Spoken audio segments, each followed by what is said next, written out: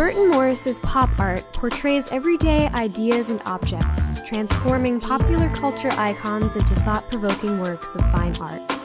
The aim of the Poptics project was to combine the works of Burton Morris with technology to create high end gallery experiences. During the fall of 2008, Poptics created three high art exhibits that allow viewers to passively interact with the art simply by being present.